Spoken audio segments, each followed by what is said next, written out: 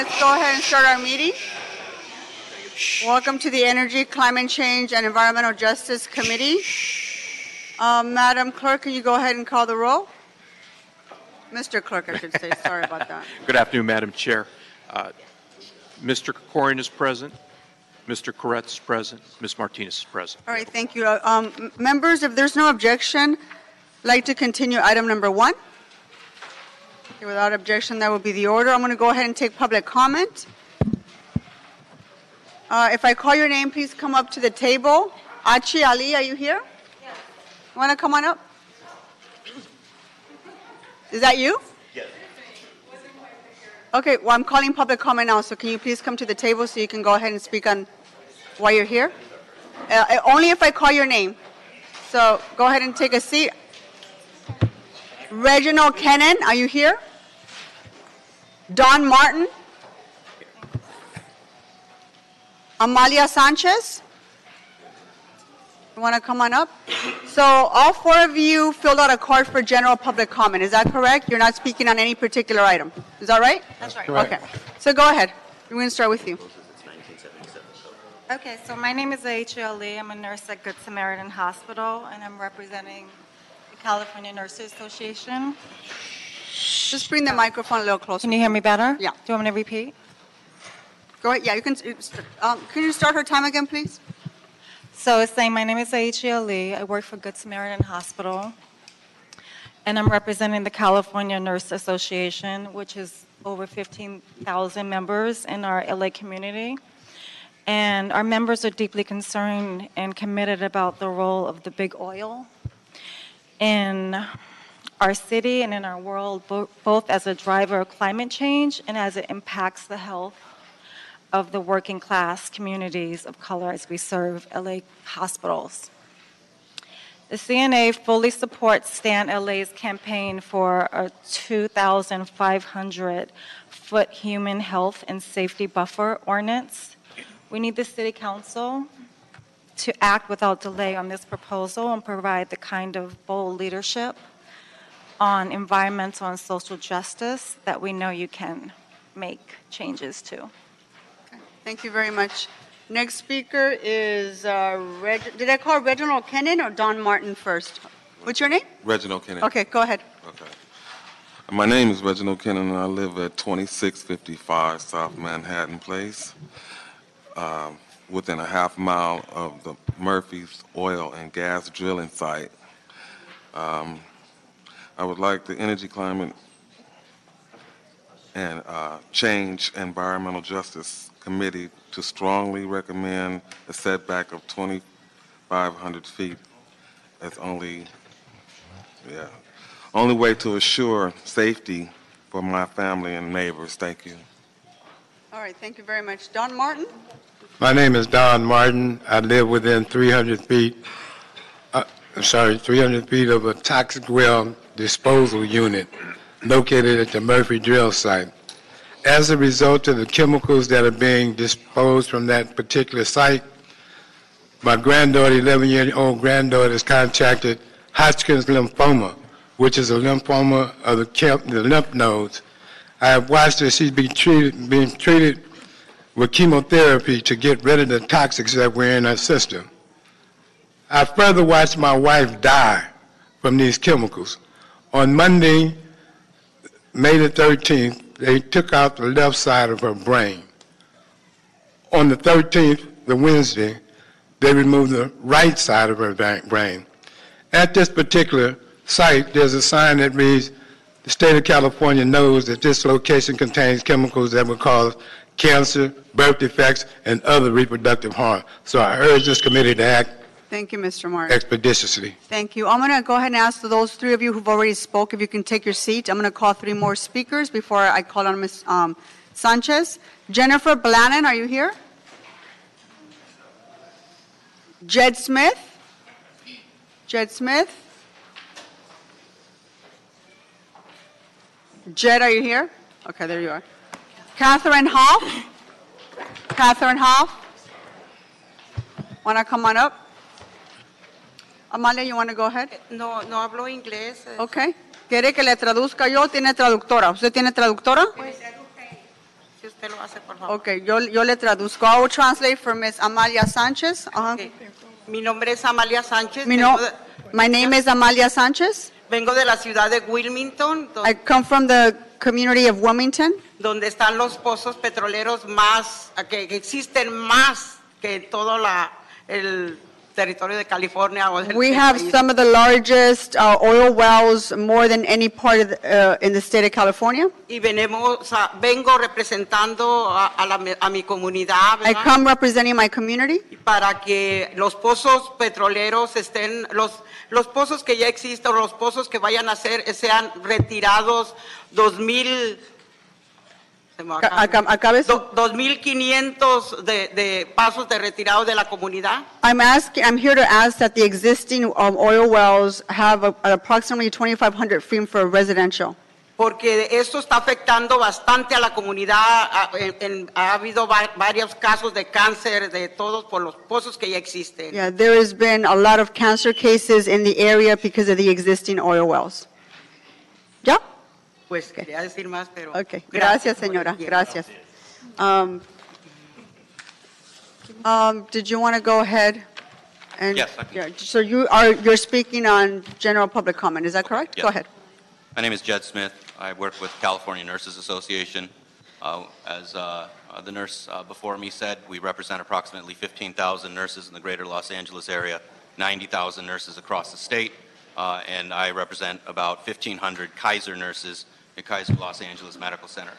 The, uh, the extraction of, of oil in, in our city uh, has, has proven to uh, impact the health of some of our most uh, sensitive citizens in this city, and uh, we absolutely 100% stand behind uh, the, the 2,500-foot buffer zone that we're calling for uh, around these, these oil rigs and extraction sites uh, in the city of Los Angeles. Um, These, these uh, sites and, and how they impact uh, the citizens of Los Angeles, we see every single day in our hospitals, and folks are becoming more and more sick.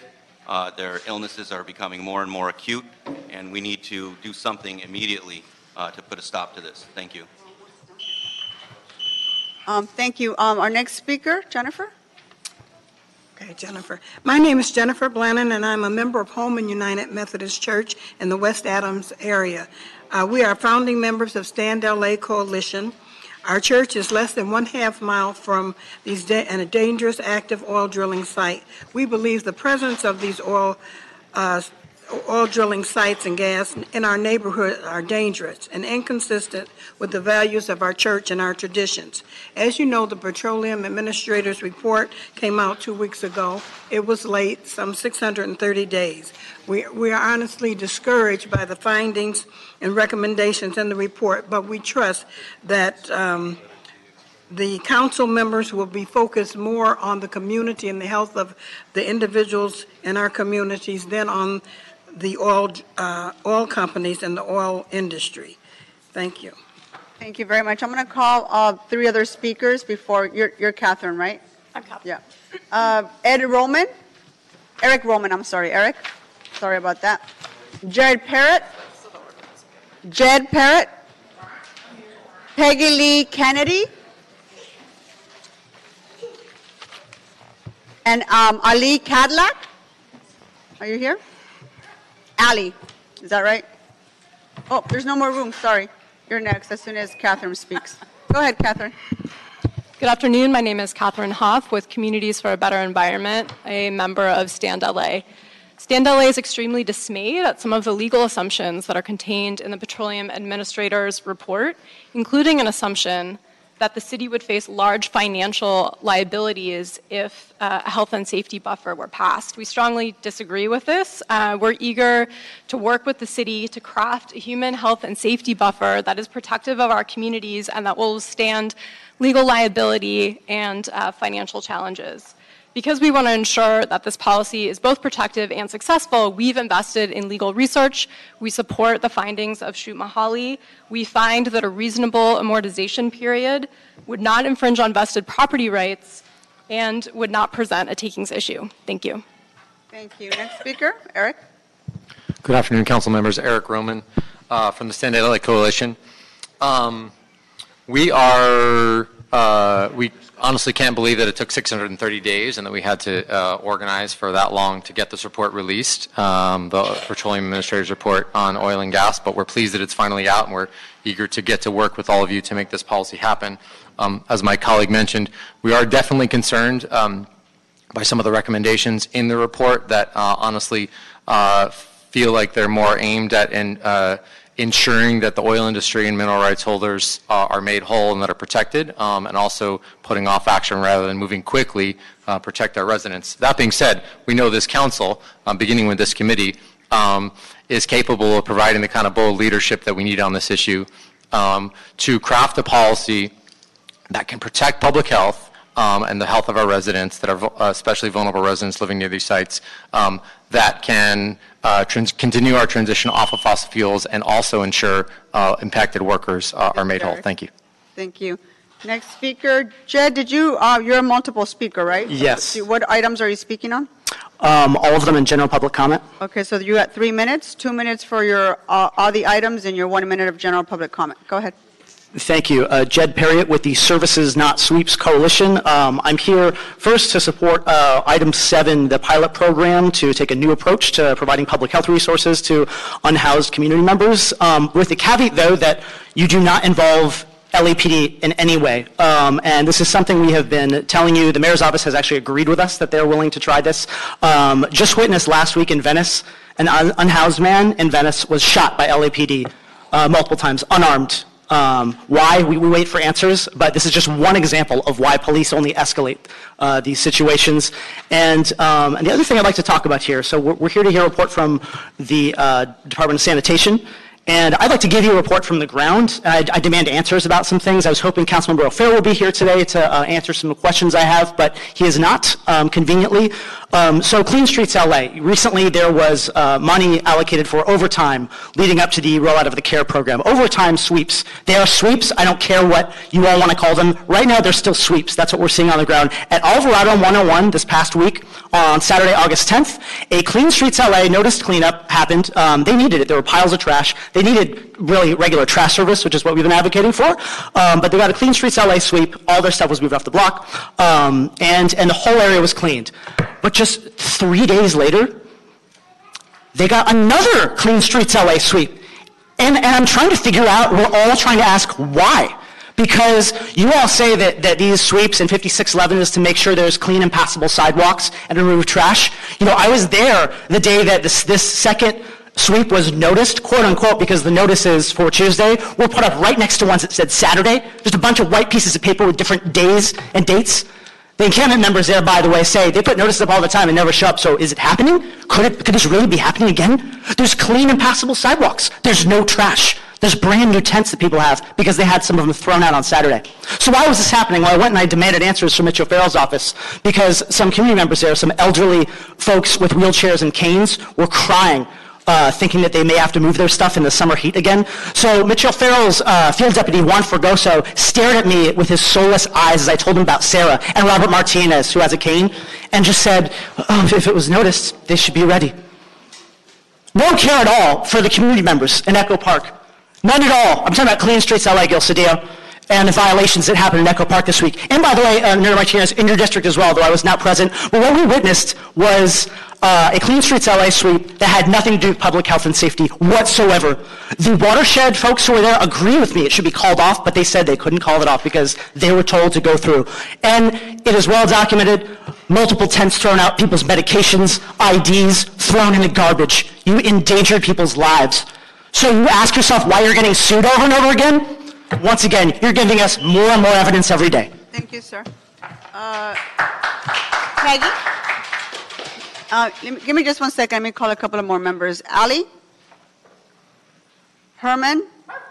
Dan? And Corey? Corey S.? Is anyone here with that name? Uh, They're, they're all over. These are all multiple cards now. Corey, are you here? Are you- Is that your name? Okay. Uh, Peggy, what items are, do you want to speak on? Uh, Well, I don't see how I can speak to four if the update hasn't been, verbal update hasn't been given. We Can I come up- back to no, that? we come, we take up all public comment at Four, I picked four, uh, six, seven, and general public. All right, thank you. So you have three minutes, two minutes for all your items, and your one minute of general public comment. Go ahead. Okay, so I'm gonna, uh, I guess I'll just start with number four. Uh, uh, You know, it'd be nice if we don't have the LAPD standing over uh, poor unhoused women who are under the threat of law, have moments, minutes to pick their stuff up and put it in a garbage bag and move it when there's not even trash around them. I'd really like to get the LAPD out of this. It's not positive and it threatens people and it escalates problems. You don't have to listen. Um, so, um, you know, it looks like you're thinking of hiring some people um, in, uh, in Venice. What they've done is they've hired some unhoused people, which is great for the clean streets part, but they're working for uh, almost no money, and they're living in tents. I run a clinic, a free, I help run a free clinic, a legal clinic for unhoused people in Venice. And our last clinic, two of those employees came to us with tickets from getting from their tents or something, 5611 tickets. So if you're going to hire people off the street, give them a real job, not a crappy job that they can't even get in a, a, a rent a room in. So if you're going to hire people, hire them in real jobs, like for, and not to say that I approve of what sanitation does, but at least they have a union. Get them hired by sanitation. If you're going to hire unhoused people, give them a real chance. And um, also for public comment, I'd like to tell you that I have a complaint right now, and I'd like to lodge that with you officially in my verbal comment, public comment, is that when these sanitation sweeps, whatever you call them, clean, whatever, they're sweeps, and they throw away belongings. And when they throw these belongings away, it's not just all the horrible things they do to the unhoused people, but what they're doing to the environment.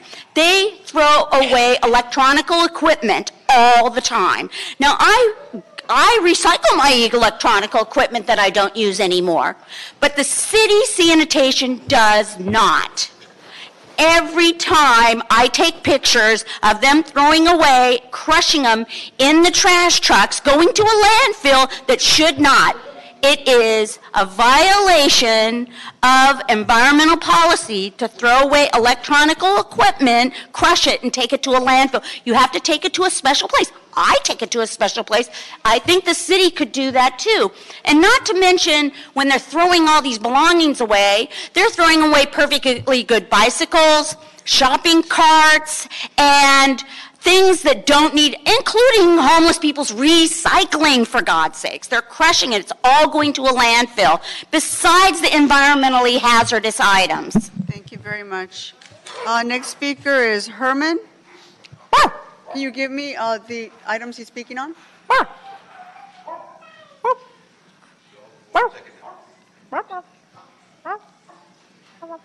She wants to know what items you're speaking of. Uh, I signed up on all items like I do at all meetings according to the jackass attorney up there. Hold on for just a second, Mr. Herman. Okay.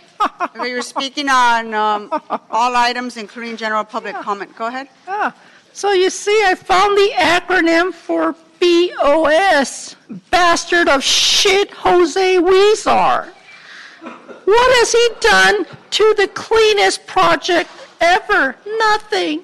He eliminated us from sleeping on our sidewalk and streets after that bitch O'Farrell made the same rude mistake out there in Venice Beach on item number seven. It talks about motion of Bonin and his little fucking chongos hand washing stations. I don't want a station. I want a room where I can fucking bathe and wash my nuts like you.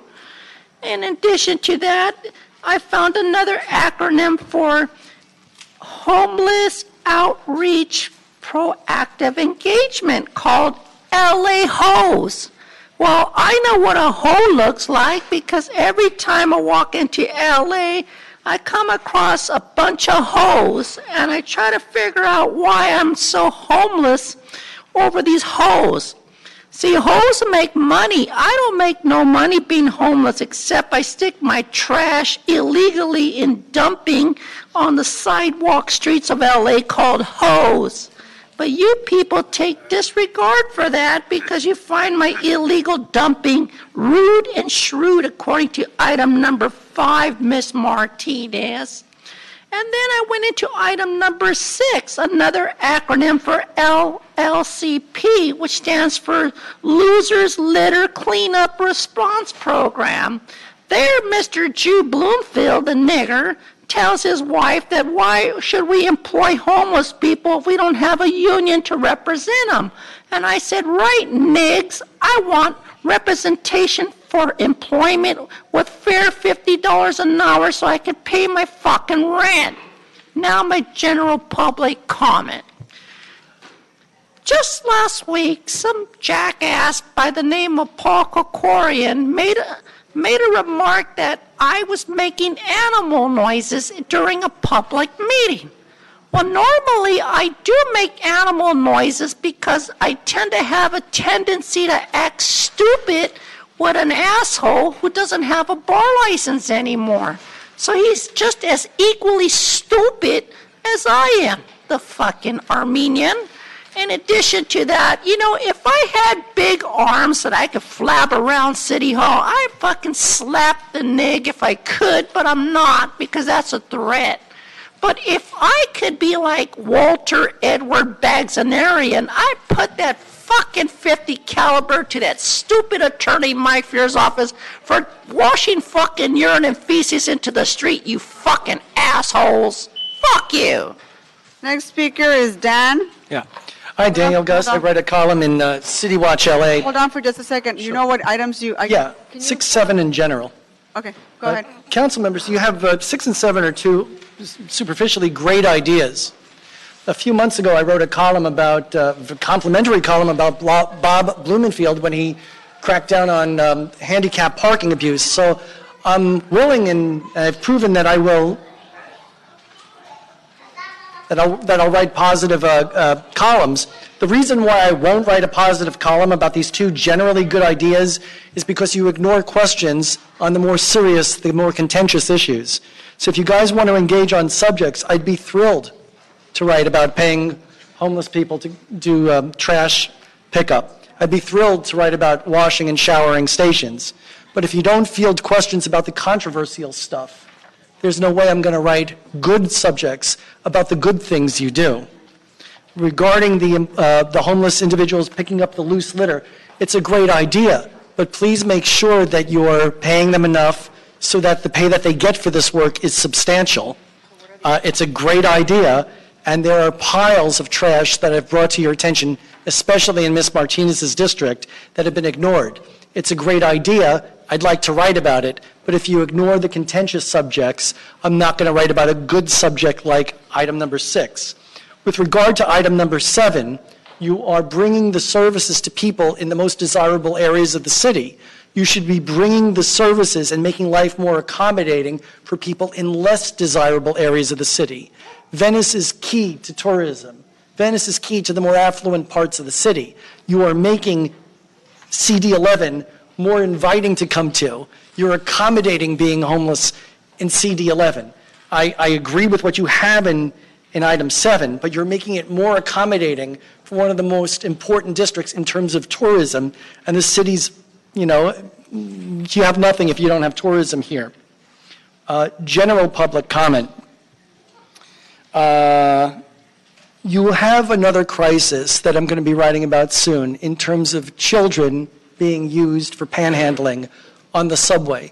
I have shown photos of children being used for panhandling on exit ramps, in the subways, and elsewhere throughout the city. Last week, and I believe I CC'd Mr. Krikorian about this, the scourge of people using animals on freeway exit ramps and on medians in blazing hot heat needs to be outlawed.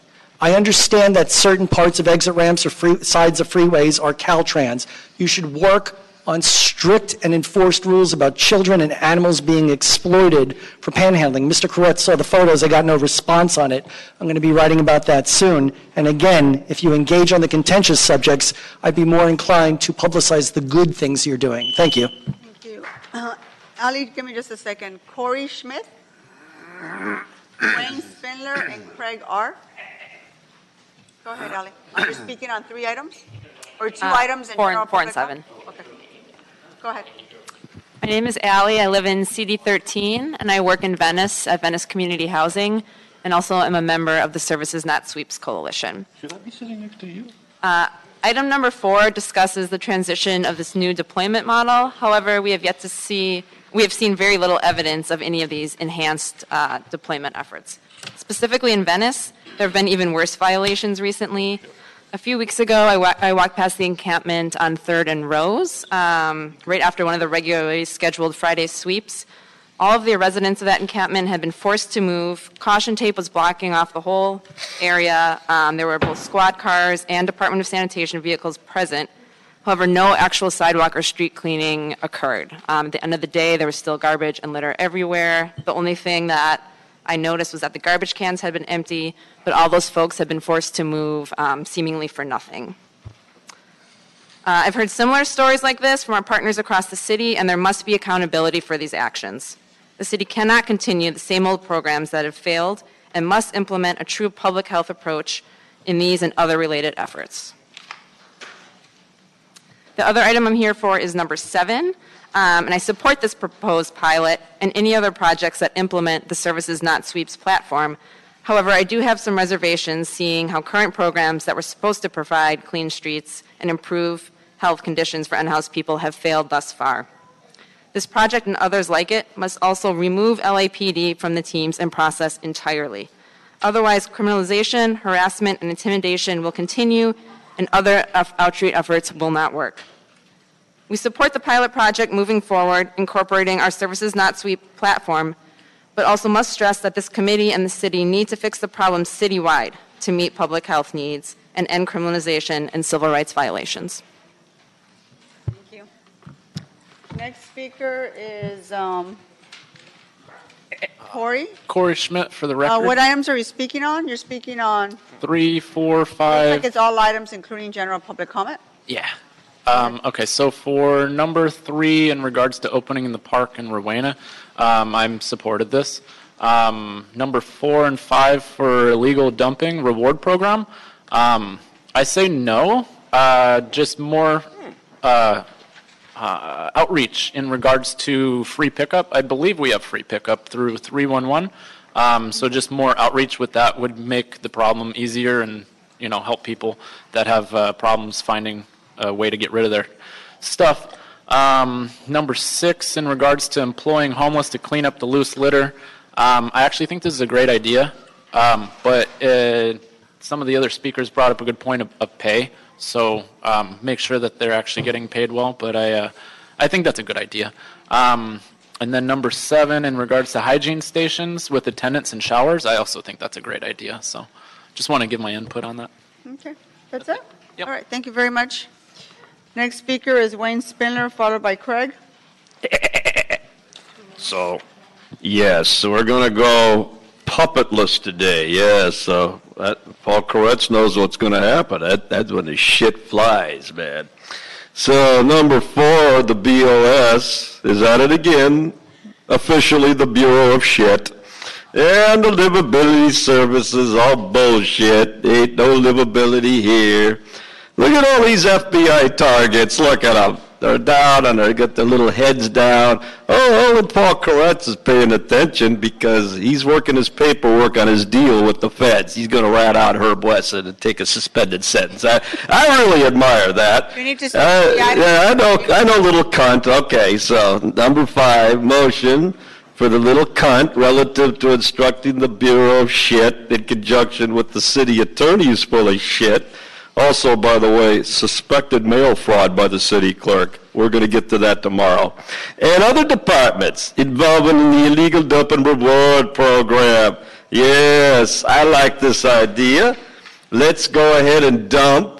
And then, uh, see, see, this is what, what Paul Krikorian did to make all his money. See, he gets his brother to come out and dump, and then he comes back and complains, and he picks up the reward, and the garbage gets picked up by the city. Can't you see it, fool? This is all the same ghetto garbage that they brought from the city of San Fernando when the criminal Nury Martinez used to be mayor of San Fernando. She simply brought her ghetto, she brought her bitches, and she brought her whole mentality, yes. And like number five, that's right. So that's why I say fuck number five, and fuck number four, and fuck number three, and especially fuck number two, because we don't need none of this shit.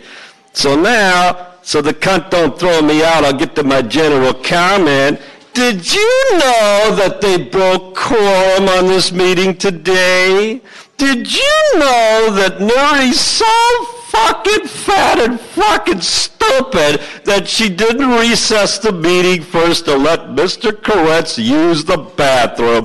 Did you know that once Mr. Koretz left the meeting that he could not hear this meeting? Did you know that 54950 of the Brown Act states that if you're not listening to the meeting and you're outside the meeting, you break the quorum? So the quorum's broken. There's no votes that can be done. It's not enough, dumb Nury, for the guy to come back in after using the crapper. Everybody knows it. Now, Paul Krikorian, he'd know it, but the bar took his license away from him three fucking times. Yes, sir. Disbarred three times because he's so fucking stupid. No, he's so stupid. The only smart one is Gil Cedillo because his daughter's now on the, on the mayor of Montebello. Good going. That's right. You're done. Give me just a second. Let me, cut that. I know, that was a lot. Give me time to recover. Yeah, you got, yeah. You're telling me you need time to recover. I wish people were that brave outside of this, um, committee. Um, let's go ahead, um, and talk. Let me ask Audrey George, are you here? Audrey? You want to come up, ma'am? Adam Smith? Dennis Gleason? Here you are, Dennis. And Eugene? Is Eugene here? You're surrounded. You guys look familiar. There's not, I'm sorry, Eugene. Uh, just wait after, after we're done with one. Did you want to say something, Mr. Koretz? Yeah, I just wanted to note that uh, Mr. Spindler and Mr. Herman have been making animal noises, side comments, motions, and doing whatever they could to Okay, distract. one more the disruption and you'll be dismissed out of this committee, gentlemen. Uh, the next speaker, go ahead. Yeah, Craig R., Los Angeles Community Action Network, LA Can. Just wanted to make a few comments about four, five, six, and seven. Um, I'm a little confused about uh, the confusion out in the streets that we see about the posting of uh, notices for uh, sweeps operations and cleanups.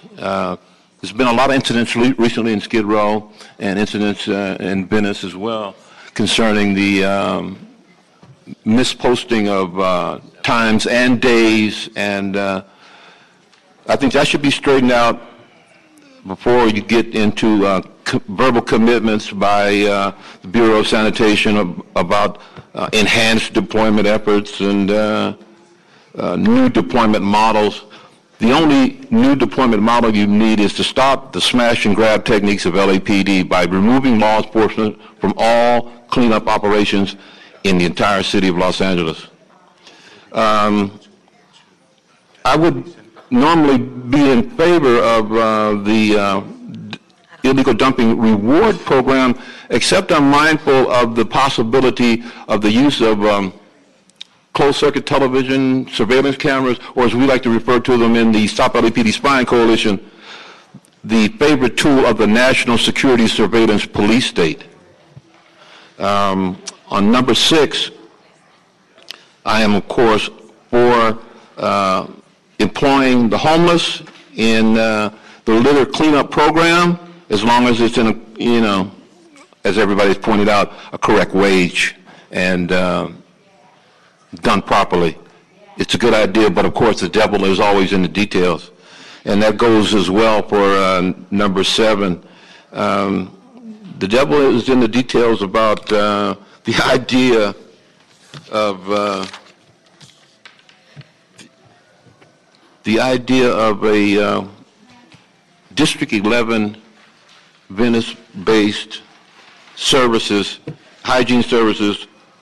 It's a great idea on its face, and uh, I, I don't respect the objection that the gentleman earlier made about um, it's making it homelessness too nice for them in Venice and will attract people. Uh, so what do you propose instead? To beat them with whips? To discourage them from coming to Venice? It's, it's a ridiculous train of logic. So we should have uh, additional uh, services,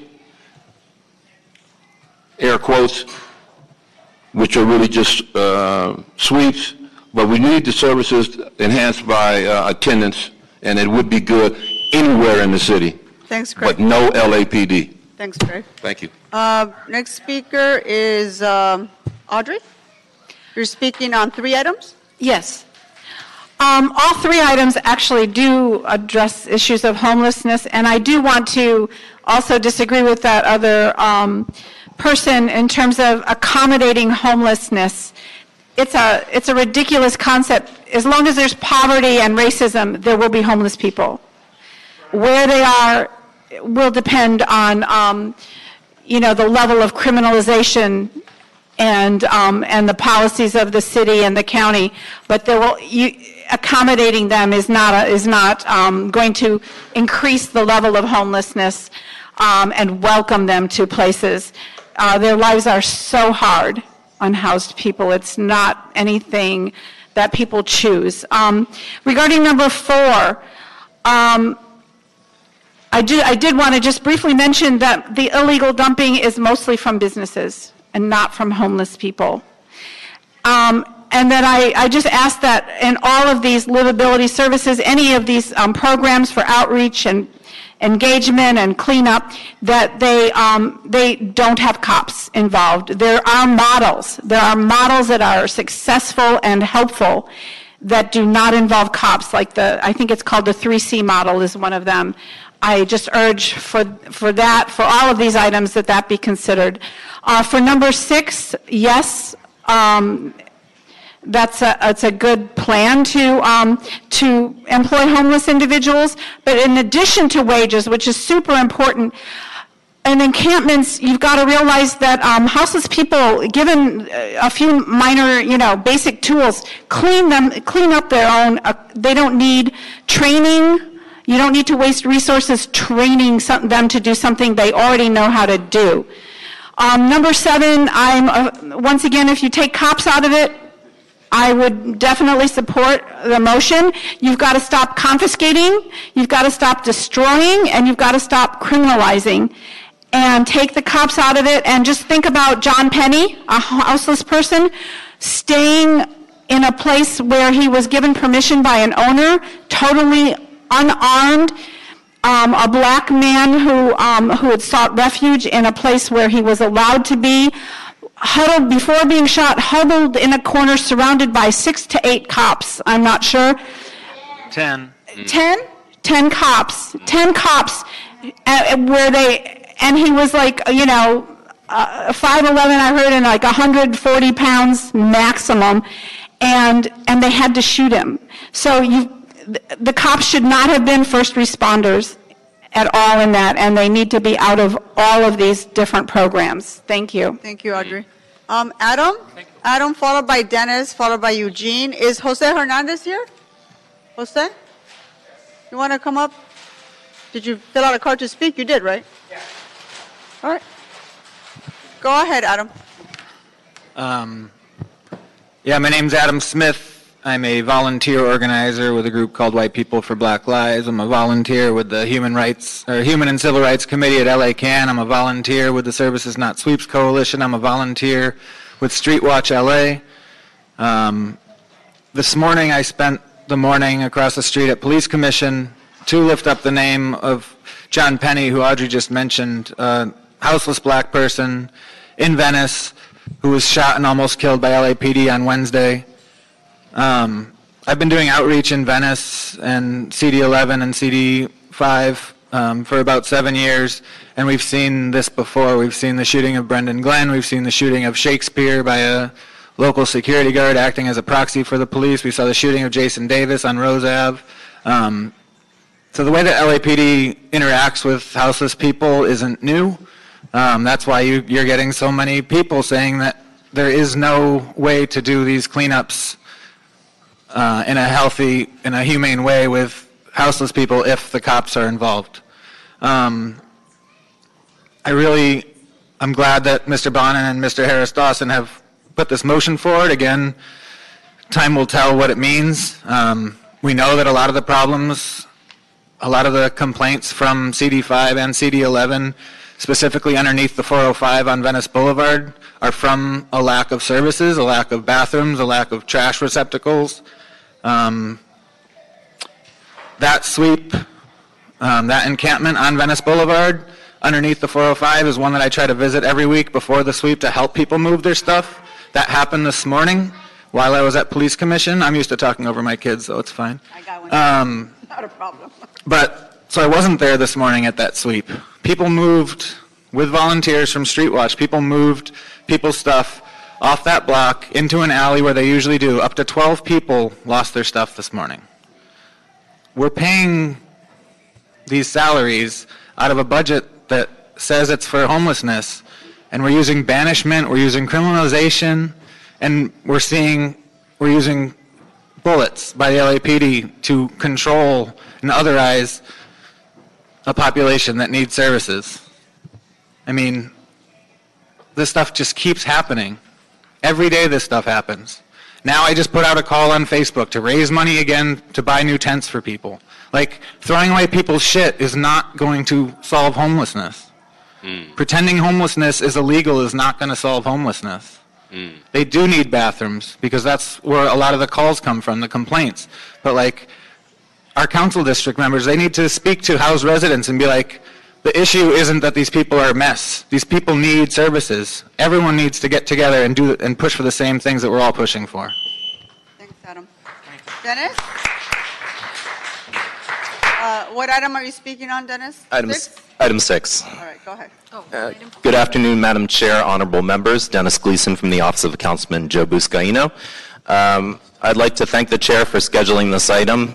We first introduced this motion in September of 2017 with a very simple idea, which was finding a way to provide job opportunities and training for those experiencing homelessness um, that's in some sort of public serving capacity. Um, I'd like to thank Wilson Poon and Meg Barclay from the CAO's office who've been instrumental in getting this program together and to this point, as well as Michael Graff Weisner and Trevor Kale from Chrysalis. Trevor is here and he's available to answer any questions that you may have, and I'm available to answer any specific questions you may have as well. Just want to say thank you. We think this is a great program. We'd love to advance it forward. Thank you, Dennis. Um, Next speaker is Eugene, and you signed up for one item as well? I've signed up for uh, six, but Yeah, um, I think I meant to put in seven, but I could briefly write on, uh, So you, speak on. you want to speak I on could br- seven? Yeah, I could, Okay, I go could ahead. speak on seven, but I could also speak on six, but I You could can get. speak I on mean, seven, your time is, go ahead. Yeah. Um, as far as uh, services uh, uh, go, I, I do think that, um, you know, providing the homeless with, uh, you know, restrooms and uh, sanitation and things of that nature, and also mental health care and health care in general is a priority. I don't think that the police have any role or business being on the streets. They do not help the situation. All they do is make a bad situation worse. Yesterday, I experienced, uh, as I got off the uh, Metrolink on Wilshire, a officer basically, two officers uh, harassing a homeless man whose only crime was falling asleep. And the officers who I had uh, uh, this discussion with uh, did not even know that the MTA was public property.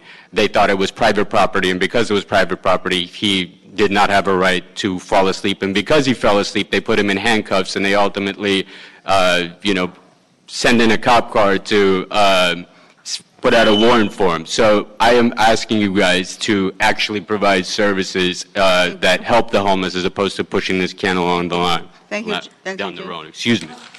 Um, The other, your, Jose? What item are you speaking on? Uh, Item two, Okay, go ahead. Jose Hernandez, uh, CD 14 field deputy, but also a constituent of Highland Park, which is northeast area that this uh, this is addressing. So for the last few years, our office has been fighting against the expansion of Scholl Canyon due to the spewing of methane gas. Uh, unfortunately, the city of Glendale hasn't really taken up much consideration on our input that we've provided.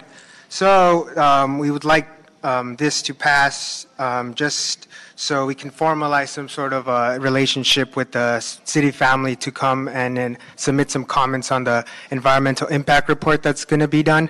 Just a brief detail on why it's important. Uh, so I won't go into further details. It'll be quick. Uh, City of Glendale hired a third pol- third uh, third uh, party consultant, uh, Stantec, that that did a mitigated neg- ne- negative declaration. Um, the City of Glendale Planning Commission actually rejected it um, and asked for a further EIR to be released. But that same uh, third party consultant will be the one doing that same EIR. So we're asking the city to um, put some pressure on it um, by having the Bureau of Sanitation provide some comments on the EIR that will be released later Got this it. year. You're out of time and the clock stopped working, so I'm sorry I had to stop you. Sorry about that. Um, Thank you very much. Thank you very much. There are no other speakers on any of our items, members, or general public comments, so I'm going to go ahead and close that for this meeting. Uh, Public comment is now closed. Members, um, I move to approve items number two and three on consent. Is there any objection? Seeing none, that will be the order. Let's go ahead and take up item number four. This is a verbal update on Clean Street Hope Program. Can you please read that into the record? Certainly, Madam Chair. Item number four relates to a verbal update from the Bureau of Sanitation relative to livability services efforts, including the Clean Streets LA, homeless outreach, and uh, proactive engagement. Uh, Okay, we have Mr. Garcia, Mr. Orozco, Mr. Medina.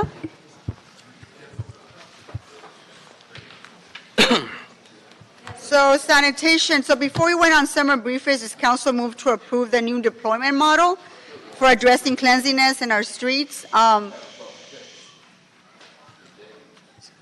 uh, Guys, I just need you, we need to continue our meeting. If you can just lower your voices, I'd really appreciate that. Um, And so again, this is, um, at this time, I'm asking us, uh, you to inform this, um, this body in terms of the progress that we've made um, to be able to meet our October 1st deadline for deployment. Uh, Thank you, uh, Madam Chair. So we're here to report on the care deployment, uh, staffing and facilities, and along with equipment. Um, The uh, overtime that was funded to uh, continue the effort to uh, uh, curb illegal dumping and uh, the enforcement and investigations, and to follow up with the hygiene centers, along with the plan for staffing and the unit, the unit acquisition. So with that, I'll turn it over to um, the manager over LSD, Gabriel Miranda, and he'll report on a few of these items. Great, thank you. Uh, Good afternoon, Madam Chair, council members. Uh, Gabe Miranda, LA Sanitation. Um, So as Pepe alluded to, we are on track for our care launch in October 1st. Uh, We are currently still working on the hiring process of the 47 new positions. So just a quick update on that. Um, 18 emergency appointment environmental compliance inspectors, uh, job offers have been made and accepted. Uh, 13 refuse collection truck operators are um, being hired as a means of transfer through the collections operations. Uh, 13 maintenance laborers are currently being hired through the targeted local hiring process. And three senior environmental compliance inspectors um, are in the process of being hired to provide adequate oversight of the 30 Care and Care Plus teams citywide. Um, Training is scheduled and ready to start uh, in September, uh, so we're on pace and on track for the hiring and training of the 47 new positions. All right. As it relates to the facilities for the regional deployment, uh, we are on track for that as well. Um, Currently working on the construction at the Harbor site as well as the San Fernando site.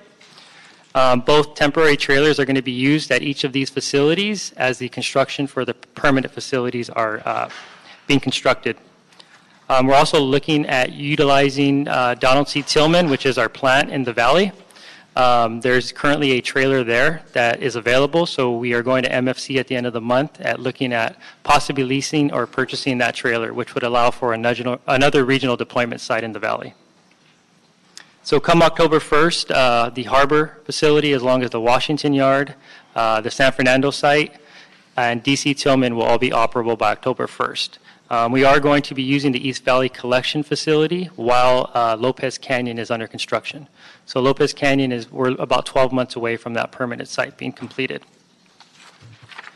And quickly on the overtime funding, um, we have been performing enhanced illegal dumping services citywide uh, with the funding that was provided. Uh, The deployment model consisted of utilizing CleanStat data as well as service request data, which determine chronic dumping in high-need locations. Uh, The metrics compiled so far for the month of July from 2019 as a comparison to 2018, we went from 917 tons to 1,817 tons. So we almost doubled the amount of tonnage that we removed from the public right-of-way as it relates to illegal dumping with the enhanced uh, overtime funding. Uh, We also produce uh, 1,600 proactive service requests. So part of the proactive work is not just being referral-based through MyLA, but we have crews canvassing certain areas that have chronic dumping and responding to these areas regardless if a service request is present or not. Um, So based on the current expenditures of the funding, um, we're looking at exhausting the funds by the end of this month. Um, With that, Madam Chair, um, so what Mr. Miranda stated is that 1,600 proactive, meaning unreported. We visually went out there and actually addressed um, illegal dumping as, as it sits, but we also uh, fulfilled 1,300 actual service requests from uh, constituents reporting. So the, the efforts or the uh, utilization of the overtime, it, it- it serves the purpose of uh, not only meeting the commitments from the constituents who have put in a request and are re- um, expecting our services to be uh, fulfilled, but an additional 1,600 uh, ser- service locations in between the ones that were actually reported were fulfilled, uh, thus giving us the opportunity to double our, uh, the tonnage and the efforts that we did. Um, With that, in, in order to, uh, to continue this and um, be ready for October 1st, we're asking for uh, uh, possible additional funding of 350,000 to cover the balance of August in September and getting ready for October 1st. Um, With that, I'll turn it over to um, Domingo Orozco to uh, follow up on the hygiene center. Sorry, you have to repeat this like one more time, Pepe. So you're asking for an additional $350,000 between now and October, on top of what we have already allocated for overtime? We've, uh, we're, we're on, we're on track to exhaust what you, uh, what was allocated to us of, uh, I think it was a little over 740,000. So was there a Um, miscalculation on your part? Pardon me? Was there a miscalculation on your part, or why are you No, asking for additional money? We- We had uh, originally asked for, I think Enrique asked for two, uh, 2.1 million, but I think it was reduced to 1.4. And then I think when it all came down to it, I don't know, 700 and, a little over 740 was actually provided to continue the overtime, or to continue the, from July 1st to uh, October, the illegal dumping cleanups to maintain the, the pace. So the it- 2.5 was the projection to get the work. Pardon me? Yeah. 2.5 was the initial. Was the initial request. And we, and we allocated 1.4. No, I- I- well, we, we, uh, we requested half, and then we were only given half of that. So in order to continue this trend of uh, picking up proactive inserts and additional tonnage and maintaining the efforts uh, uh, in lieu of October 1st, uh, this is what we calculate would carry us to October 1st. All right, so you're going to bring that back, because we're not taking, this is just simply an update, this is, we're not taking any action Okay. this afternoon. Uh, I guess we can discuss that, I just wanted to make sure I heard you correctly. You want to go ahead? Madam Chair, council members, Domingo Orozco, LA San here to discuss mobile hygiene units. LA San has secured the first unit with expected delivery in mid-September for operational deployment beginning in October 1st. This unit will be piloted with the Care Plus team that will be deployed to comprehensive cleanup locations. This will help uh, by providing a critically needed resource. Um, In addition, we are looking at a model where we can utilize a community benefits organization to provide more of the social services that will come along with deploying this mobile hygiene unit. Uh, We're also looking for a model to secure additional funding and also procurement of additional units for use citywide with our Care Plus teams uh, that will be deployed for comprehensive cleanups. Uh, We're preparing to further report on this in the future, and we're here happy to answer any questions that you may have.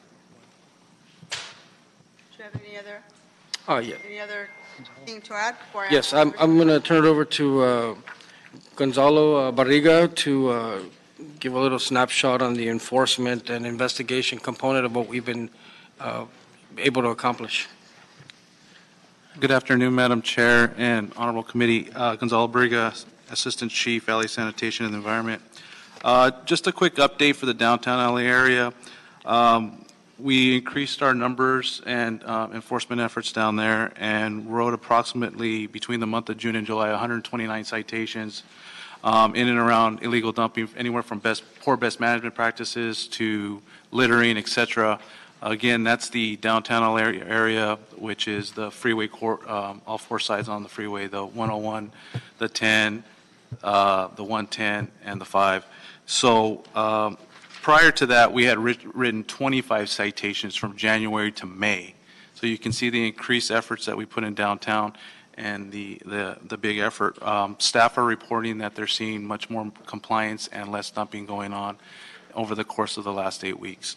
Uh, Citywide, uh, for the month of uh, June and July, we wrote approximately 240 ticket citations. Uh, That was citywide. That includes the downtown LA numbers. Uh, So we've increased our numbers citywide, um, and uh, the teams are are are able to enforce. And again, these are criminal citations where they have to report to a court and judge and pay a fine.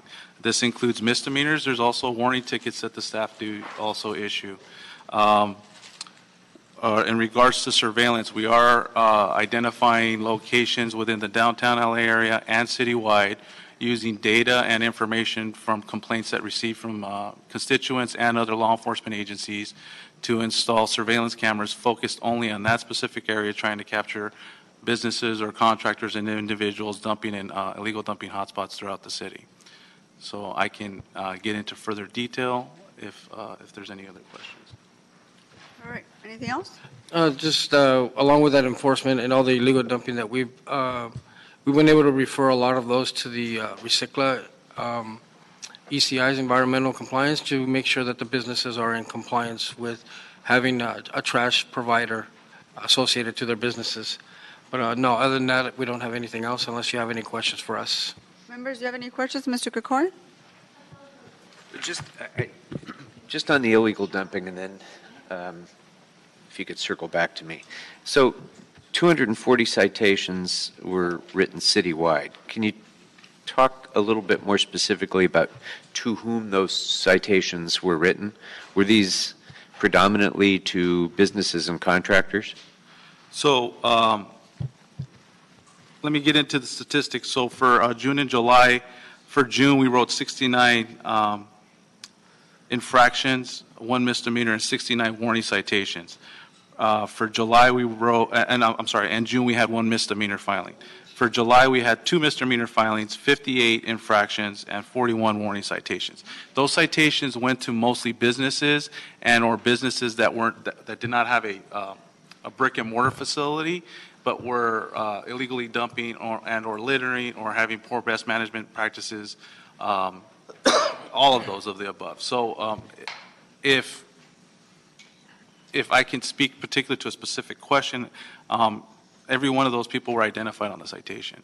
Okay, well, I, I guess the question most people would have about that dumping situation is, is it a illegal dumping problem caused by businesses, or is this an issue relating to our homeless population?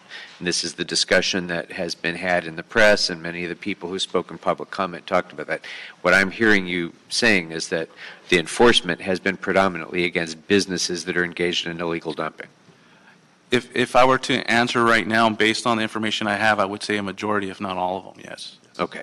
And now, um, so have we correlated those who are doing the illegal dumping with those who do not have a current uh, trash pickup contract under So, then? um, yeah, so we had a downtown LA plan that we proposed. I mean, there's a lot of details, so I'll speak to that right now. We worked with franchise, our RecycLA folks, and for the first six to eight weeks, we had um, inspectors with us, and we are sharing the information for the citations at every single location with our RecycLA folks, and then they, they do a query in their database, and, and if they need to, they, they do immediately uh, deal with that situation um, to uh, make sure that the trash hauling or the- basically the recycling ordinance is enforced.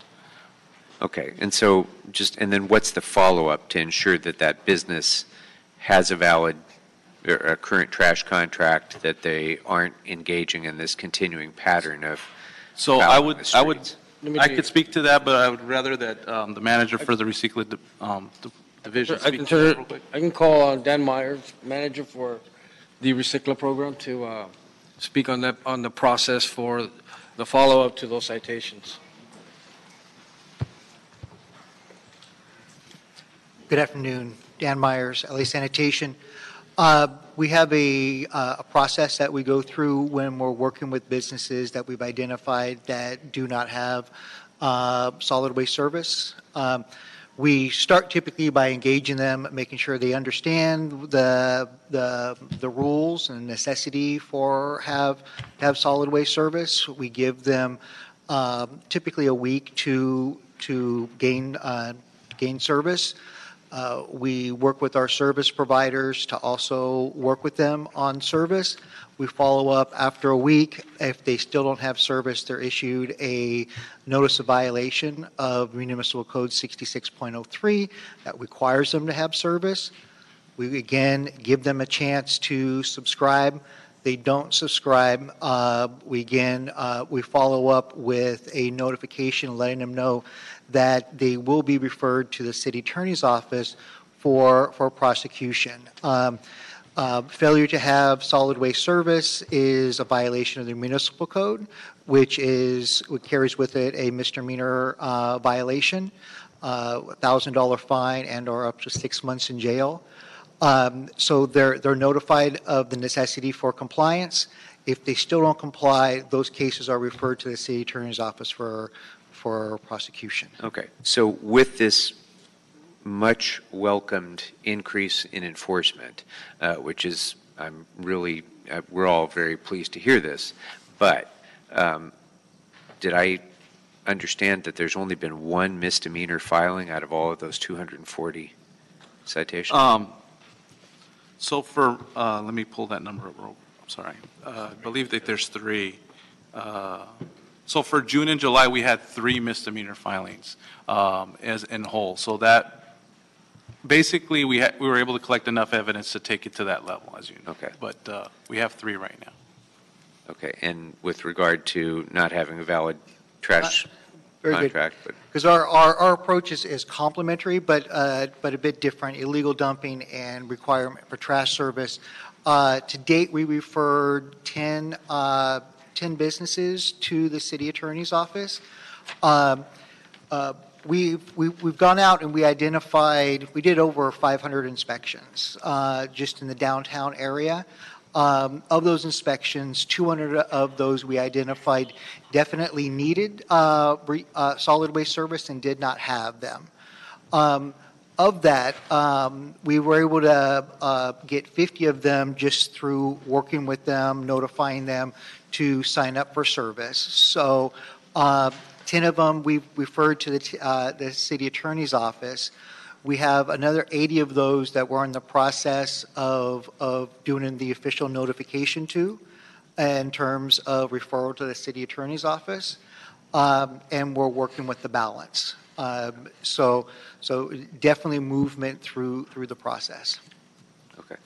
Um, Are there suggestions that you can offer to the committee for um, what uh, resources you would need in order to better prepare these cases for prosecution? You mentioned it's difficult, it- it's obviously difficult to gather the evidence to present these for criminal prosecution. So what would help you to solve that problem so that folks who are creating these piles of trash uh, for their own profit, essentially, are appropriately prosecuted.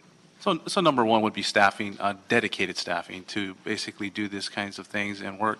Um, Also supporting a, uh, we did receive funding for our surveillance cameras to do illegal dumping, but we wanted a support group that would be handling like more of a detec- detective role, um, looking into those cameras and then just spending time and focusing on misdemeanor and/or misdemeanor wobbler files, filings for um, criminal investigations, as opposed to uh, badge staff or, you know, people walking down the street trying to find a citation, uh, a violation for a citation. So uh, if we could have dedicated staff to basically focus on misdemeanor level types of uh, criminal investigations, which uh, I believe the committee knows takes a little bit more time than just a, a ticket on the street. Um, There's a lot of interviews, there's running plates, there's going to residents, door knocking, um, locating businesses, et cetera. And, and obviously that, that's time consuming and basically a dedicated s- staffing, if I were to offer my suggestion.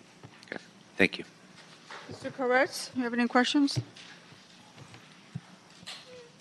Yeah, I think we all want to do what we can to stop illegal dumping, obviously. Can we do anything to raise the amount of rewards to help catch illegal dumpers? And is there anything we can do to increase the fines for illegal dumpers that we do catch? So we are working with the city attorney's office. You should be receiving a report back if you've not have already received that um, on enhancing and updating some ordinances, LAMC 5612, LAMC 61.07, LAMC 64.70, and LAMC 66.25 to increase all of those uh, uh, criminal infractions and fines to the maximum allowable under criminal law. Also, you'll be um, also we some information to introduce the ACE citation program, which makes stuff, uh, is a, makes violations an administrative violation as opposed to a criminal offense. And those issues would be adjudicated through uh, the city attorney's office, their uh, ACE program. And I can, I, I believe Adina would be the one, um, our city attorney's office would be the one to be able to speak to the uh, increase in fines and the ACE program. And then regarding the illegal dumping reward program, there is an illegal dumping reward program um, on the books and, and, and and has an account, et cetera, but has not been funded. Um, We're uh, inquiring what uh, the best actions um, by making visits to all of the council offices and the mayor's office on uh, basically uh, amending or maybe a tiered program, et cetera, uh, to make it more successful. I did a search and maybe found less than five rewards issued for dumping over the last 20 years, if that. Uh, So uh, maybe an outreach campaign and maybe a tiered system for the reward program. So we really don't have a reward program right now. It exists, but it's not used. That's correct. correct. And are, are we, is, is anybody looking at this actively? We, we, we uh, have a report back that you'll see information regarding what some of our recommendations and uh, some of the discussion we've had from some of the council offices. Um, If you've not received that report, you, you shall be getting it very soon. Okay, we'll, we'll look for that. And what kind of proof do we require to actually uh, catch someone in the act and prosecute them? I know in, in a lot of cases, the city attorney's office likes to have something actually witnessed by a city employee. Do we require that in these cases, or could, could a bystander or the homeless person, uh, homeless person take video and uh, help us catch folks in the act? I I believe anybody can submit information and submit for the reward. I don't believe any city employees are allowed to claim the reward. I, I think the only requirement is that the information leads to a conviction. So not necessarily a filing or capture someone, but I think the requirement is that they actually have to be convicted to receive the award. So could we have a more robust program where we, we encourage the homeless to help us uh, video and identify people doing illegal dumping uh, in their vicinity? Yeah, that would, that would, yes, my answer would be yes to that. Um, We can engage the homeless and all in residents of the city of, visitors, etc. I think that would be more of an outreach campaign, making sure everybody knows where to call and what kind of information is necessary to report on illegal dumping. And not, not only the pickup of the dumping, but to report that you want an investigation of that dumping to uh, identify and capture and convict an individual or a business for dumping. But it sounds like, again, currently we don't have a program to enlist the homeless and identifying illegal dumpers in there. I'm not aware of any outreach program, only that the program exists. I, I can say, council member, that anecdotally, what we've seen in the field during some operations is uh, the unsheltered population will willingly provide information that they've seen in the street of businesses uh, dumping in and around their area. So we've used that uh, as at least a starting point. So they, they've volunteered some of that information in the past. Okay, and on a slightly different subject, so if we're looking at trying to find a way to, uh, to hire the homeless uh, and to have them do some cleanup activities in their own vicinity, is there any way to transition some of those individuals into our targeted local hire program? And is that contemplated anywhere? There, there's currently a, a, um, a program, um, being piloted on Skid Row, um, a few of the streets that kind of do not have a bid attached to them. And so they are, uh, reentry program, uh, type individuals that have experienced homelessness and have had some kind of criminal background. And it's all in, in parallel. Uh, they're doing the kind of, if you want to call it mentoring or kind of uh, reallocating them to a, um, to a working environment and following the rules and some education and some counseling. Um, Basically, the, the, getting them ready to uh, participate and take part of the TLH program. So it- it's kind of a, a parallel thing um, where, where the TLH is uh, also mentoring and, and, and educating folks that are uh, wanting entry-level positions. And there is currently a program dedicated in that area to kind of uh, bridge that, that, uh, that connection. Thank you. Mr. Cedillo? Uh, the same questions in a different way. Just tell me about the local hire. What's the criteria? What's the salary?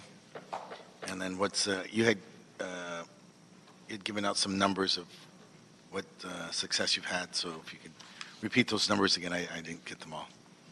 So we are hiring um, 13 of the new maintenance laborers as part of the 47 positions through the targeted local hiring process. Um, I don't have the salaries on hand as far as the pay scale, uh, but we are going through that process now.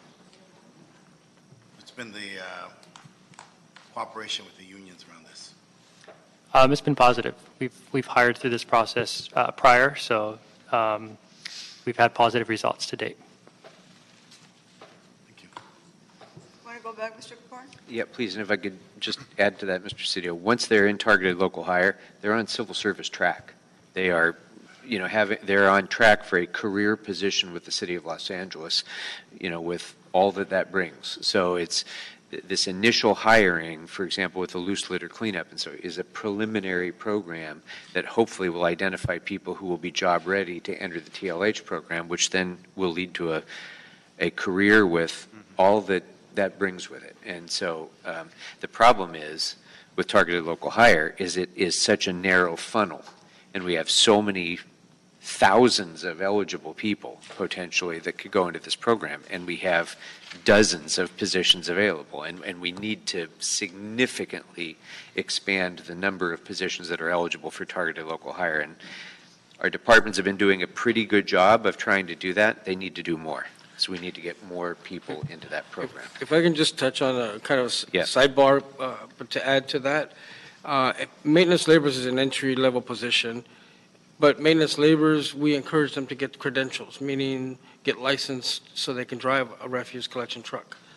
That bridge is there. So if you came in as a maintenance laborer and put in through 3LH, and, uh, TLH, and put in a, a few years and got your credentials, then you would be in line to be an RCTO, thus leaving a gap so another TLH personnel can come in. So we've actually established uh, through the bulletin that went out for refuse collection operator, uh, this, this go-around, that, that eligibility or that bridge is there, opening up, because through attrition, a lot of our RCTOs have, have uh, retired, uh, promoted, and so on. So we've always had that vacancy in the classification. So uh, layman, you know, you get credentials, get your license, be qualified, and you're, uh, you're on track to becoming an RCTO. One thing that, uh, to touch on that as well, Councilmember, uh, what we will be adding soon uh, with the assistance of the Personnel Department is the Assistant Environmental Compliance Inspector classification. Uh, We expect to be coming back with that very, very soon. Uh, Big thank you to personnel helping us move forward with that. That will also have the feeder class of maintenance labor as well. So the maintenance labor, after, uh, I believe it's a year, two years, Years. will be able to qualify for that position with some schooling and education. Then they'll be able to, as a temporary position, take the class for ECI test, which moves them up to senior ECI, chief ECI, so on and so forth. So they'll have, as a maintenance laborer, a two-pronged approach to a professional career. Yeah. All of that fed through TLH. Great. A Couple of uh, follow-ups. Um, Your report mentioned the uh, restroom pilot program, and um, I I guess what I would like to see is a strategic plan for locating permanent uh, self-cleaning toilets uh, throughout the city. Um, So, I mean, it's, it's great that the care teams are going to, you know, bring them with them, but that, it, it's just a coincidence of timing of whether they happen to arrive when people have need to use them. And um, so I think that one of the big components of addressing this challenge that we continue to be missing is the avail- the ready availability of bathroom facilities throughout the city. And um, we're opening one uh, this week in North Hollywood, a self-cleaning uh, toilet, automatic self-cleaning uh, toilet. I think um, more of those where sanitation identifies as being the most important places is imperative. And so I- I'd love to see, as you continue to report to this committee with follow-ups on this report, a broad strategic plan for how we meet the bathroom facility needs of our homeless population in a cost-effective way. So self-cleaning toilets, opening uh, park bathrooms, you know, in the evening with an attendant if necessary, uh, putting up porta potties wherever. A plan that once and for all gets our arms around this problem holistically. Um, I would really like to see that happen. Related to that, and Madam Chair, if I may, I'd, I'd like to request that we request that of, of sanitation to come back with, with such a plan. Um, related to that is a, a problem that is a particularly acute in Ms. Martinez's district and myself, and that is um, uh, RV dwellers who have very little choice but to dump their uh, waste tanks into the streets. And um, I, I- think we, I've spoken informally with sanitation about, about the idea of bringing mobile facilities to the RV encampments so that they have an opportunity to empty the tanks in a sanitary way or some other solution to address that fundamental problem. Where do we stand with finding solutions for that? Right now, council member, we're looking at rolling that out with the October 1st deployment. Okay. So that we can start servicing those RVs at location, at Terrific. site. Uh, For those that are leaking, we'll, we'll take a more proactive approach, but we want to service those that are there uh, so that they can, I mean, that's part of our core business, is bio-waste hazard, so. But that hasn't started to take place now, right? I mean, We're looking- This we've goes into secured effect the unit. after the deployment Right. of October 1st. Correct. Very We- good. we- We've looked at several models to kind of uh, provide not only the, the suction, the Andy Gump type suction component of it, but also the ability to uh, steam clean if needed around a, a location. Uh, So we've looked at several um, um, prototypes of what it would look like, a compact unit that has everything on it to service uh, a bus stop that's kind of tacky to an RV that needs that kind of uh, suction facility, or even to, to add to a um, porta potties or anything that we might develop in the future, this would be a, a- an internal uh, component of what we would service throughout. But it, it's, again, it's building that model that can be universal. It could pump an RV or steam clean a bus stop that has, you know, been neglected for a while. But uh, we are looking at that, and uh, we should have some kind of model. We, we're testing it right now, so we don't have the complete funding for it, but it, we, we're in that process of coming up with a concept. Well, we can't get it soon enough. Uh, It's a major, major problem in the, in the Northeast Valley, for sure. Thank you. Mr. Cedillo? On this uh, strategic plan, let me add uh, points of reference, MTA stops, uh, coming and going, uh, public parks, public schools, public libraries, uh, bus stops, and the array of civic centers throughout the, uh, throughout the city. I hope the survey, the plan and the survey gives us some insight into what's, what's open to the public today, the status, what's available after hours. Uh, We need to scale up.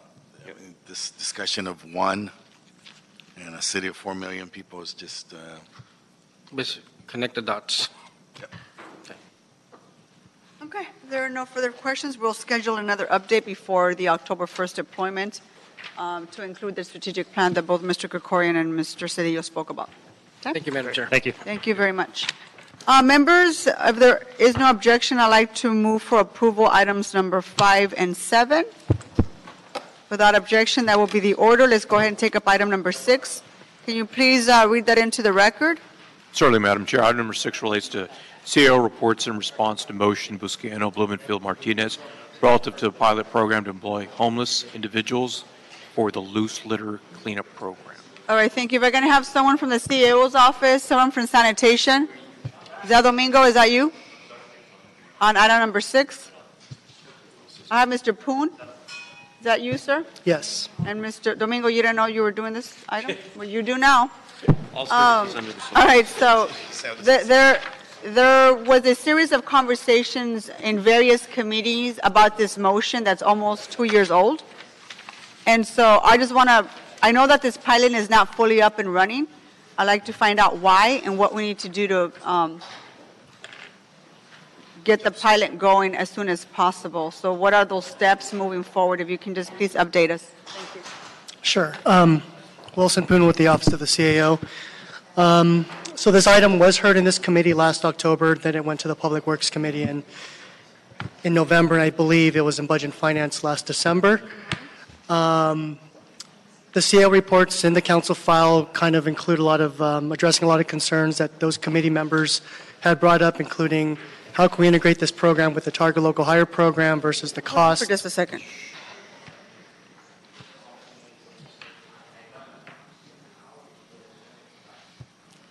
Martha, can you please ask our friends to just lower their voices outside so I can? Mr. Poon, go ahead. Um, So we also looked at some of the costs of the program, how we could reduce it. We also looked at whether this program is best housed in OCB or versus sanitation. And I think we looked at other funding sources like HEAP funds as well and um, other homelessness funds. So that's kind of where we're at. Um, There was no funding included in the 1920 budget for this program. I mean, we could instruct us to go back and look at that, uh, whether you want to use um, unrestricted UB general fund dollars, or we can, I can talk with our homeless coordinator and see if uh, there's any available state or federal funding that's available as well. So, LA Sanitation's here to assist with that. Are there any questions? I do have instructions that I'd like to read into the record. Any questions? No? Yeah, actually. Uh, Sure, Mr. Uh, Thanks. Um, So in last June, uh, the council authorized a homeless litter pilot program uh, and set aside $150,000, or I can think of existing funds, actually. Right. Um, So how does that correlate with this proposed program? So if I may, uh, Councilmember Domingo Orosco, LA San, the 150,000 that was in the previous report back prior to council recess in July was used for a pilot program within Skid Row. Uh, And we're also looking at Northeast Valley as well for further deployment of that. Okay. Um, it- it- It's a very similar model. Uh, That was a- a component. We were originally going to look at Chrysalis, but I think that came out of the Employment Development Department as an original kind of an attachment, so. so It's a little nebulous, to be, to be clear, sir, uh, to be honest. I'm, I'm just, I- guess, I think this is a terrific program. Yeah. I'm trying to understand the cost effectiveness of various Mm-hmm. approaches to it. And so, do we, do you know offhand that $150,000 uh, program in Skid Row, how many people were served by that? Right now, I do not. We've used a group, Urban Alchemy, and they've actually started doing some of the loose litter. And actually, we received quite a bit of compliments from in and around the area on actually keeping the street a little bit cleaner, a little bit nicer, a little bit more passable, um, as it complements more of our comprehensive cleanups that rotate that area. So, you know, in my district, we're doing clean streets, clean starts. I know in the 12th district has used that. I think, Ms. Martinez, you've, you've d- d- used that, this program as well. Um, It's a tiny, tiny, tiny fraction of this cost per person. Um, Now, it's a different kind of program.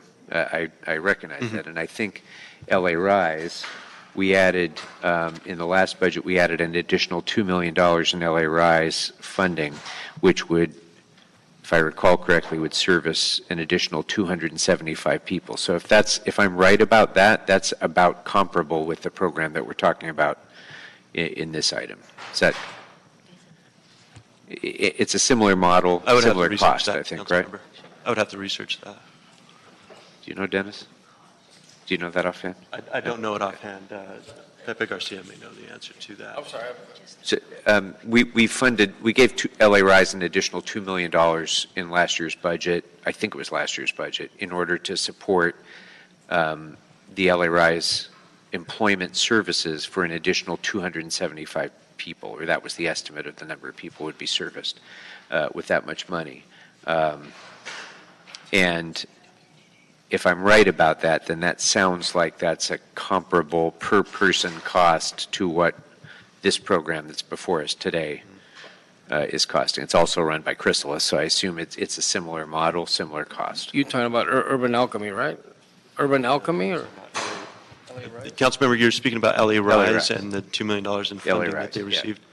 I, I believe, again, that was out of E EWD. Yeah, that, that's in the EWDD budget, so I mean, I could, we can go back and talk to them to see. I'm not sure if there's anybody here from EWDD. I, I don't mean to belabor the point, it's just that, you know, th- there's kind of sticker shock at first blush in looking at spending this much money for a relatively small number of- of people. But having looked at this, having compared it with LA Rise, the degree of services involved are significant. Um, It's a different kind of program than either are targeted local hire, it's different than Clean Streets, Clean Starts. It's, it's designed to have targeted wraparound services which are going to be more expensive. So um, I guess I've become, in looking at this 18 different ways, I guess I've become satisfied that this is um, an appropriate amount of money to, to spend for the degree of services uh, obtained. I guess the one question I would have is, um, it was sole sourced, um, and I think when we were last talking about this, uh, we talked about are there are there other providers who might provide different models, who might be able to do things uh, with different innovative approaches that might be more cost effective? That uh, I, I'd, look- I mean, this is a pilot program. I get it, but I think we should pilot many programs eh, with many providers and see which one works.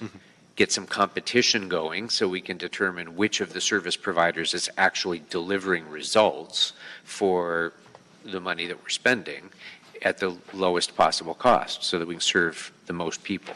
So has that been done? Has, has any effort been done to kind of put out um, an RFI or something to determine what service providers might be able to do similar work and what would the cost of that be? So right now, we're looking at, it's an excellent question, council member. In the mobile hygiene unit, we're looking at different ways that we can quickly bring in different service providers uh, to, to service that as a kind of a model, as a baseline, so that we can look at different ways of deployment. When we're looking at this kind of a program, we're kind of looking in the same way. If we start going into the RFI, RFP process, that just becomes kind of a, a longer, more protracted program. We're trying to find a way to onboard people quickly to provide those services that will basically be a force multiplier for the services that we provide in the streets. I totally agree with that, and I suspect I'm going to be eager to support Ms. Martinez's recommendations in moving this, I, I assume, moving this forward. But at the same time, mm-hmm. I think we need to roll out a wider net to find other approaches, other programs that may be able to come in at a, at a cheaper per-person cost Mm-hmm. so that we can provide more services to more people. We'll and- and- And ensure the best result. Because a lot of times, pilot program after pilot program after pilot program in every policy area that we deal with, but especially with homelessness, we launch our pilot program and that's the last anybody ever hears about it. And we never go back and say, did this work? Did this, did we get the results we expected to for the money? Uh, are there ways that we could get the same results for half the cost? Are there ways that we could serve more people for the same money? We don't do that as a city very often. And in a program like this, where we're dealing with um, a population with such great and diverse and unique individual needs, the more different approaches we have to compete against one another, the better, as far as I'm concerned. So, Absolutely. Uh, council member, if I could add a little contest. Um, for those of you that have spent any time talking to Councilmember Buscaino, you'll probably know that impatience is one of his key characteristics. And so the reason why we work with CAO to go with Chrysalis is we really wanted to get something off the ground and running as quick as possible. So we kind of did a survey of what organizations were around, and we found out that, that Chrysalis has the most experience doing this. They work with Caltrans. Several of the business improvement districts downtown work with them already. So I think we were looking for something that would give us the greatest chance of success up front and to do something quickly. But our intention all along was to see how it works for a year, kind of get experience with some of the, the things that worked with the program and didn't work, and then that would help us develop an RFP if it is successful moving forward with a different service provider. I do recall you mentioned the Clean Streets, Clean Starts program at the last committee meeting, and we did look into that. It's a, a slightly different model where they're not Quite different. they're not paying an, an hourly wage, but instead provide a stipend each day. Um, this is kind of in the middle between hiring city employees. I think that cost would be, uh, I think the CAO's report said it'd be about $5 million more to hire city employees, but this isn't quite as cost effective as the Clean Streets, Clean Starts. So we're trying to find something a little bit in the middle. But um, the intention all along was certainly to see, to track the results, and then if it, if it is successful, to put it out to bid and see what other providers and what other ideas are out there. So I totally get that. I am also extremely impatient. and so I say, don't wait for the results of this. Let's do the pilot program, figure out whether this works. But in the meantime, let's cast the net out there and see what the service provider world has to provide to us. Hmm.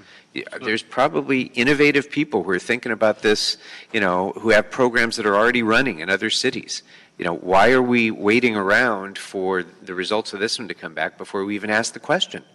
Let's get it out there. Let's put an RFI out there, an RFQ out there, whatever it is, um, to start getting input from service providers, you know, all around and see what the best practices are that they're already implementing so that we can get it rolling. Be happy to look at all Well, that. I'm very impatient, but I also follow the rules. Mr. Gleason, please wait for the chair to call you to address this committee next time. Certainly. Thank you. Um, um, Okay, so I'm going to go ahead and give some instructions. Um, I would instruct the CLA and the CEO and SAN to prepare a report confirming the appropriate framework for this pilot, along with any necessary instructions to sanitation, as well as recommendations on a funding strategy to implement this program, along with the recommendations that Mr. Krikorian just laid out as well. Thank you. Okay, any other questions? Seeing none, thank you very much. Um, Go ahead and move for approval of, well, their instructions are before you. Any objections? Seeing none? Okay, are there any other, anything else before this committee? No. No? No, Madam Chair. Let's go ahead and uh, move to adjourn. Thank you very much. Wilson? What did we buy? Get a note. That's a file.